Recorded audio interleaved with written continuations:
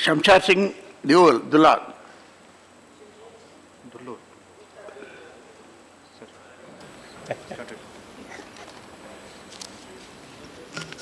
धन्यवाद चेयरमैन साहब। आपने इस बिल पर बोलने का मौका दिया। सर, बड़ी चिंता का विषय है कि देश में कानून, जब कोई इस देश में बड़ा हादसा होता है और हादसे के बाद कानून में कोई ना कोई उसमें चेंज लाने की कोशिश की जाती है। इसमें बहुत, इस देश में बच्चों के साथ बहुत क्राइम हुए वेमेन के साथ भी क्राइम हुए क्राइम बढ़ते जा रहे हैं और साथ साथ कानून में भी तरमीमें होती जा रही हैं। दिल्ली में एक नए वह कांड हुआ जिसकी बदौलत मैं समझता हूँ कि सारे देश में उस कांड का सारे देश को हिला कर रख दिया। और उसके बाद कठुआ में हुआ जम्मू कश्मीर में। जम्मू कश्मीर में एक छोटी बच्ची के साथ कितने लोगों के ने रेप किया। ऐसे त, इसी तरह हरियाणा में किस किस प्रदेश की बात करूँ सर कि देश में बच्चों के प्रति औरतों के प्रति ये जो सेक्सुअल हरासमेंट की बात है, या उनके साथ रेप किए जाते हैं, ये दिन पर दिन बढ़ते जा रहे हैं। और किसी भी आप रोज़ अखबारों में पढ़कर देख सकते हैं कि किस तरह से, चाहे वो स्टेट कोई भी हो, पंजाब भी हो, क्योंकि क्राइम जो होता है, किसी किसी स्टेट में कौन राज करता है, नहीं करता इसका, इसके बारे में मैं नहीं कहूँगा। ये क्राइम होता जा रहा है राजस्थान में। और कुछ क्राइम ऐसे हैं जो नोटिस में आ जाते हैं, रजिस्टर हो जाते हैं। इस देश में सदियों से इवन आज़ादी के बाद भी देखेंगे कि गाँव में कल, जो खेतों में काम कर रहे हैं, मजदूर उनके बच्चों के साथ भी इस तरह की घटनाएँ होती हैं। ट्राइबल लोगों के साथ भी घटनाएँ होती हैं। उनको इंसाफ नहीं मिलता, क्योंकि उनकी, क्योंकि कानून कानून की, कानून बड़े के हाथों में खेलता है इस देश में। जो आमतौर पर देखा, जुडिशरी भी है, मैं टिप्पणी नहीं करना चाहता। गरीब लोगों के पास, जो उनके पास साधन नहीं, कुछ नहीं, उनको कानून कानून की सहायता भी नहीं का मिलती, कागजों में लिखा जाता है। और चाइल्ड के अगेंस्ट जितने क्राइम हुए पिछले सालों में, सोलह में आप देखेंगे कि तकरीबन तेरह, बारह, तेरह में, तेरह, चौदह में अठवंजा हज़ार दो सौ चौबीस और उसके बाद चौदह पंद्रह में उनासी हज़ार चार सौ तिहत्तर पंद्रह सोलह में चौरानवे हज़ार एक सौ बहत्तर। ये बच्चों के साथ और उसमें अठारह परसेंट केस ऐसे हुए जो बच्चियों के साथ रेप हुए हैं। कानून में तरमीमें होती जा रही थी और उसके साथ क्राइम भी बढ़ता जा रहा है। चिंता का विषय ये है कि, कि कानून का डर होना चाहिए। जो भी क्राइम करते हैं उनको डर होना चाहिए। भारत को छोड़कर दूसरे कंट्री में चले जाओ आप। ये साउथ जे के कंट्री हैं आबू धाबी है, और जो जो मुस्लिम कंट्री हैं और दूसरे कंट्री हैं। वहाँ पर ऐसे क्राइम क्यों नहीं होते? ठीक है, उनका सिस्टम जो कानूनी सिस्टम है, जो क्राइम करता उसे चौक में खड़ा कर कर उसको गोली मार दी जाती है।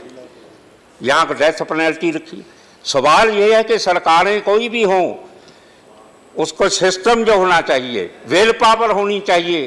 कागजों में तरमीम करने से बात नहीं बनती। और देश की आबादी देखो, जब देश आज़ाद हुआ था तो इसकी आबादी तैंतीस चौंतीस करोड़ थी। अब 130 करोड़ के ऊपर चली गई। आबादी इतनी बढ़ती जा रही है, इसके भी तरफ़ कोई की और क्राइम भी बढ़ता जा रहा है साथ में। झुग्गी झोपड़ियों में रोज़ क्राइम होती हैं। और ज़्यादा क्राइम जो शेल्टर होम है, जिनको हम सुधार कर घर करते हैं हरियाणा में ऐसे हुए, दूसरे कंट्रियों में, और दिल्ली जो देश की राजधानी है, यहाँ तो बहुत होती हैं। ये बस निर्भय का कांड हुआ बसों का, वहाँ एक मंदिर में हुआ जम्मू कश्मीर में। ये जो जितने क्राइम, चाहे मध्य प्रदेश है, राजस्थान है, सर, ये क्राइम जो है, इसमें सिस्टम को ठीक करने की ज़रूरत है। पहले तो पुलिस स्टेशन पुलिस स्टेशन जितने क्राइम होते हैं, पुलिस स्टेशन के एसएचओ को पता होता है। चाहे वो ड्रग का मामला हो, चाहे कोई मर्डर हो, चाहे कुछ भी हो क्राइम जो होते हैं, उसको पुलिस जो है, हम बाहर तो लिखा सुधार कर लिख देते हैं। सुधार अल्टीमेट जो इनकी मानसिकता है, जो माइंड सेट है पुलिस का जो रोल है, उसके साथ साथ समाज का भी रोल ज़रूरी है। पेरेंट्स का भी रोल है। अब बहुत सी ऐसे घटनाएँ होती हैं, जो बच्चे नशों में, नशे करके के बच्चों को उठा लेती है। कोई बच्चों को किडनैप करता है छोटे छोटे बच्चों को उनसे भीख मंगवाई जाती है। क्राइम तो यहाँ बढ़ता जा रहा है। इसको रोकने के लिए सजा का प्रबंध किया है, ठीक है। हम इसे सपोर्ट करते हैं। पर सवाल ये है कि लोगों में इसकी जागरूकता की ज़रूरत मीडिया का रोल, ये व्हाट्सएप का रोल, ये भी बहुत डेंजरस है। इससे कई घटनाएँ हो जाती हैं। सवाल यह है कि इन चीज़ों को कंट्रोल करने के लिए कोई ना कोई विल पावर होनी चाहिए कंट्रोल करने के लिए लोगों में जागरूकता की ज़रूरत है, एनजीओ के ज़रिए। और जब तक लोगों में कानून का डर और भय ना हो तो क्राइम कम नहीं हो सकता। कानून जैसे भी बनाई जाए, और उसमें फास्ट ट्रैक कोर्ट की ज़रूरत है। जिनके लिए स्पेशल कोर्ट बननी चाहिए। पासको एक्ट लाया गया। उसमें अमेंडमेंट की जा रही है कि जो बच्चों, सोलह साल की काम उम्र की लेडीज़ के बच्चे के साथ कोई सेक्स करेंगे तो उसको फांसी की सजा।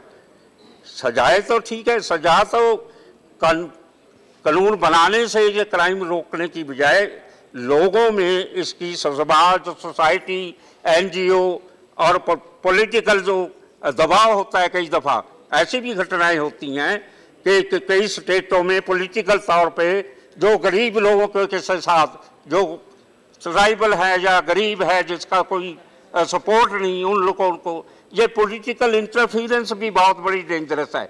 इसकी वजह से भी मैं कहता हूँ कि जब किसी दोषी के की सपोर्ट मिलती है पॉलिटिकल चाहे वो रूलिंग पार्टी हो चाहे दूसरा कोई नेता लोगों को भी चाहिए इन इस, इस अपने माइंड को चेंज करें क्रिमिनल लोगों को सपोर्ट करनी बंद करें ताकि समाज में एक अच्छा समाज की सज्जना यहाँ लोग हमें भेजते हैं किस लिए भेजते हैं? कि सब वहाँ जाकर कोई समाज का सुधार होगा। हम देखते हैं कि क्या हो रहा है।